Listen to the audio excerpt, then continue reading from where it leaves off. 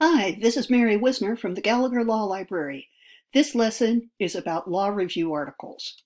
First, what are law reviews or law journals? They are scholarly legal periodicals. Periodicals means that they're published on a schedule, for instance, monthly, annually, or four times a year. Scholarly means they're academic, backed up with citations. Law reviews are usually published by law schools and edited by law students.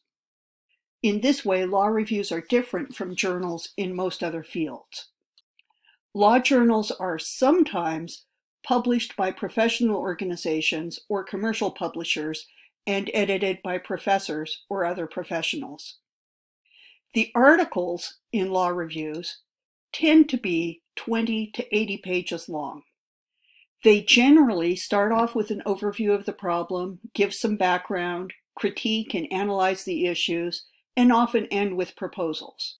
They are packed with footnotes, and these footnotes are carefully checked during the editing process to make sure that every citation, every page reference, every quotation is accurate.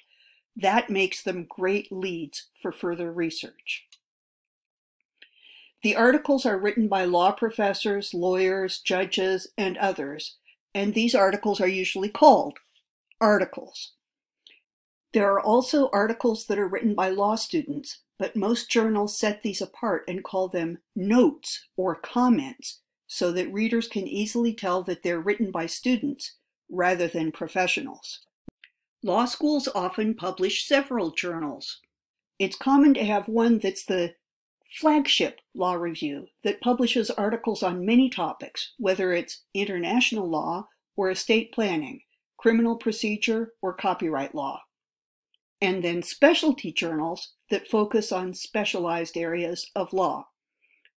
For example, here at the University of Washington School of Law, we have the Washington Law Review, which has been in publication since the 1920s, and we have three journals on specialized topics the Washington International Law Journal, the Washington Journal of Environmental Law and Policy, and the Washington Journal of Law, Technology, and Arts.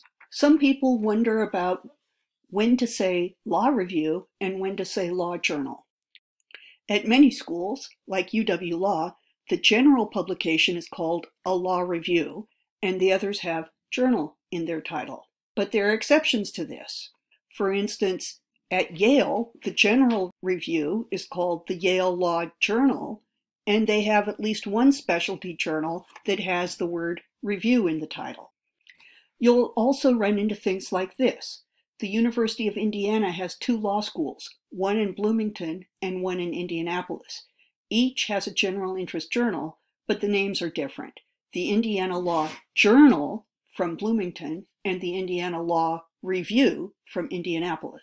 It's okay to use the terms interchangeably when you're talking about articles generally. I'm looking for some law review articles about housing segregation. Or, my professor recommended a law journal article about bargaining power in contracts. When you're citing an article or looking up an article someone else cited, pay attention to the name, because that's how you'll look it up.